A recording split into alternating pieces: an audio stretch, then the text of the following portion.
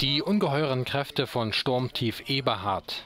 Ein Kölner Autofahrer hielt sie per Kamera fest.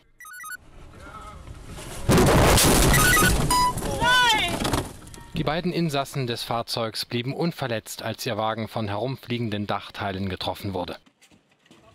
Nach den schweren Stürmen am Wochenende waren die Auswirkungen auf Deutschlands Straßen teilweise noch zu Wochenbeginn zu spüren.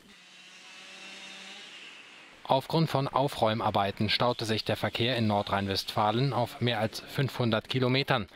Auch auf der Schiene kam es zu Verzögerungen. In Böen erreichten die Stürme Geschwindigkeiten der Stärke 12. Im Sauerland wurde ein Mann von einem umstürzenden Baum erschlagen. Der deutsche Wetterdienst warnte, es könne in Teilen Deutschlands, insbesondere an der Nordsee sowie in Höhenlagen, noch bis Mittwoch Sturmböen geben